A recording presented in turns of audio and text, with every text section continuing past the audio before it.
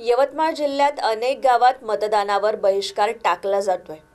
त्यामध्ये एक भर म्हणजे यवतमाळ वाशिम मतदारसंघातील दिग्रस तालुक्यातील साखरा येथील मतदार लोकसभा निवडणुकीवर बहिष्कार टाकणार असल्याचं निवेदन यवतमाळ येथील जिल्हा निवडणूक अधिकाऱ्यांना देण्यात आलंय.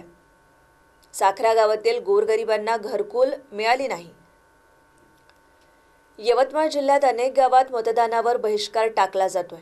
त्यामध्ये एक भर म्हणजे यवतमाळ वाशिम मतदारसंघातील दिग्रस तालुक्यातील साखरा येथील मतदार लोकसभा निवडणुकीवर बहिष्कार टाकणार असल्याचं निवेदन यवतमाळ येथील जिल्हा निवडणूक अधिकाऱ्यांना देण्यात आलंय.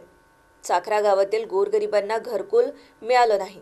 रस्ते नाल्या व्यवस्थित नाहीत तसंच पाण्याची समस्या कितीतरी वर्षांपासून सोडवली नसल्यानं आणि गोरगरीब वंचिताला कुठल्याही शासकीय योजनेचा लाभ मिळत नसल्यानं आणि या मागण्या संबंधित विभागाला वारंवार निवेदनं आंदोलनं रास्ता रोको आंदोलन केली.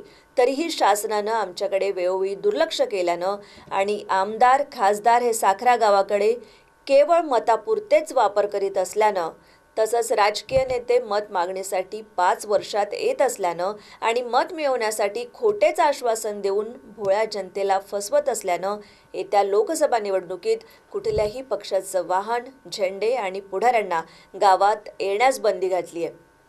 आणि कोणालाच मतदान करायचं नाही असं ठरवण्यात आलं आहे आम्ही सर्व गावाकडे मिळून हा बहिष्कार करतो की वनामध्ये गावामध्ये आजपर्यंत पिण्याचं पाण्याची सोय झालेली नाही.